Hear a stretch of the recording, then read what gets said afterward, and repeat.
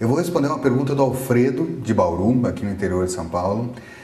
E ele pergunta: qual curso é melhor para aumentar a minha chance no mercado?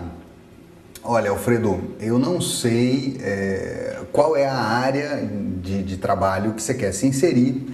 Isso é o tema do nosso programa vizinho aqui ao lado da Ivelise. Eu não sei qual é a sua orientação, mas enfim, posso te responder alguma coisa de útil. Olha, uh, de forma geral, o mercado demanda, dependendo da posição, novamente, mas de forma geral ele demanda que as pessoas falem bem português, escrevam no mínimo decentemente. É, algumas posições demandam que você é, conheça inglês, língua inglesa, saiba. Algumas posições exigem que você fale inglês, outras apenas que você escreva. Então, assim, existem cursos que são mais ou menos genéricos.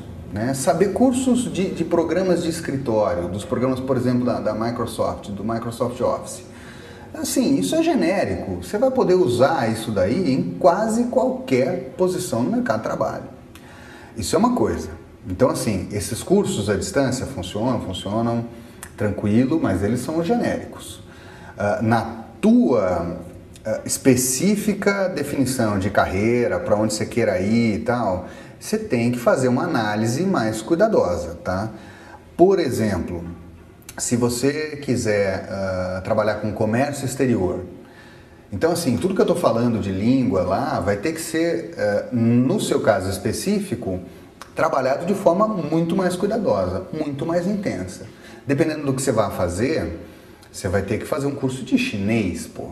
Então, você vai encontrar isso aí à distância, tem até uma outra pergunta aqui sobre isso, fica meio de olho nos vídeos, que talvez isso possa te ajudar, porque é especificamente sobre línguas.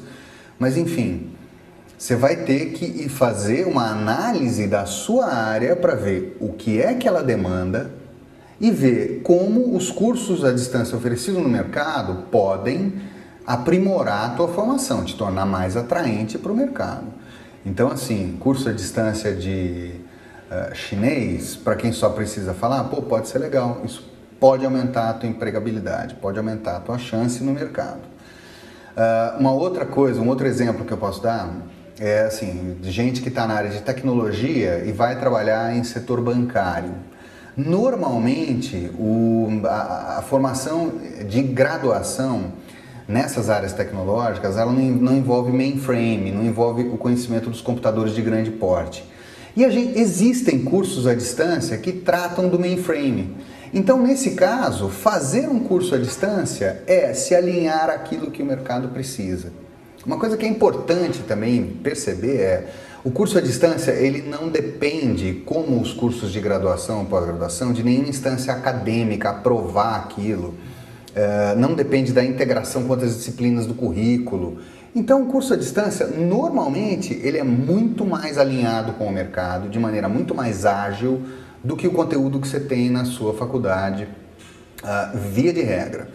Então, provavelmente, nos cursos à distância, você vai encontrar coisas que te ajudem a ficar mais pronto para o mercado, a ter mais chance, como para usar os termos que você usou na sua pergunta tá bom? É isso, até mais, tchau, tchau.